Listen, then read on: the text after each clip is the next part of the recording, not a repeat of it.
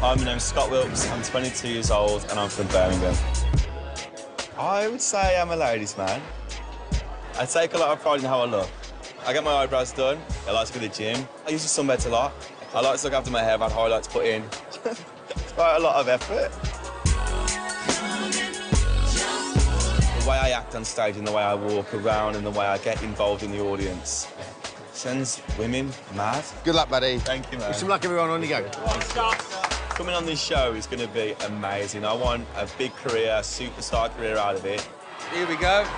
And then I get all the perks. I, I get girls, I get girls.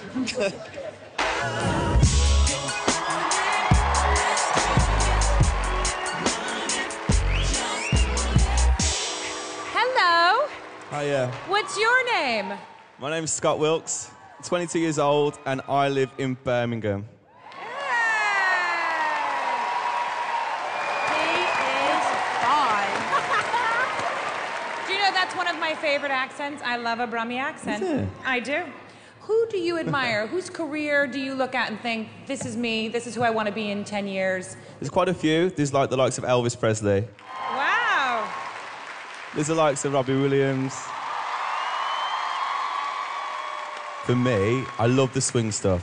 Oh, yeah. Okay, well, I want to hear your swing music. Let's do swing. Let's do Yeah. some swing. You want to hear some swing? Yeah, let's Yeah. swing, Scott. Yeah? I want to swing Okay. with you, Scott. Let's go. That is not many buttons done up on his shirt. Okay. So how are you feeling so far? You feeling good? Down here, you feeling good? I might come down there. Beautiful. Okay. Confident. Oh, me and Mrs. Jones.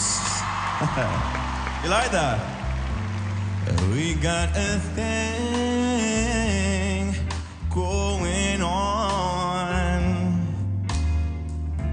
Now we both know that it's wrong, but it's much too strong to let it go now.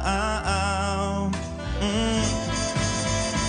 Me and Mrs.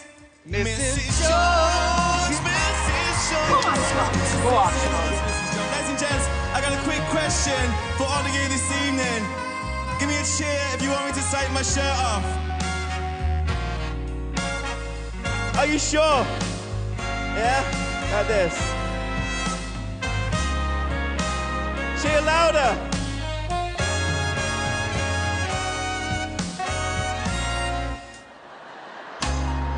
Wait, it's stuck. He's the shy one of the family. Oh, yeah. I want a shirt. Thank you. Thank you very much. Been amazing. Thank you.